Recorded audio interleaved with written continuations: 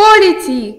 Côte d'Ivoire, 70 détenus pro-Gbagbo en liberté provisoire à Abidjan. Il s'agit de civils et de militaires, des anonymes pour la plupart accusés d'atteinte à la sécurité de l'État pour ces actes commis pendant la crise post-électorale ou en lien avec les attaques qui ont visé les forces de sécurité durant l'été 2012.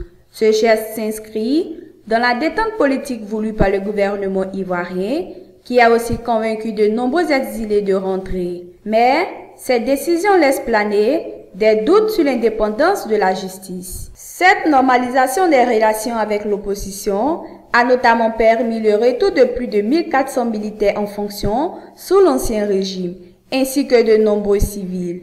Plusieurs sont visés par des mandats d'arrêt émis par la justice ivoirienne, mais jusqu'à présent, ils n'ont pas été appliqués.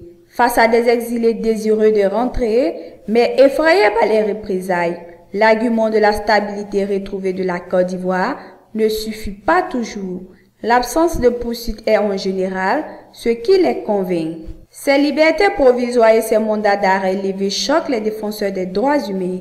Récemment, le MID, le mouvement ivoirien des droits humains, s'en étonnait, alors que la cellule chargée d'enquêter sur les crimes de la crise post-électorale venait d'être reconduite.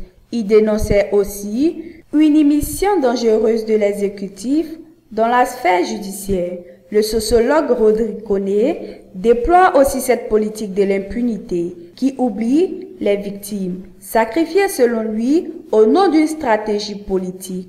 Le mandat de la commission réconciliation a été renouvelé pour un an, cette fin de semaine par Alassane Ouattara, à l'heure où les procès de la crise post-électorale ont du mal à s'organiser. Cette commission pourrait être le seul espace où les victimes pourront s'exprimer.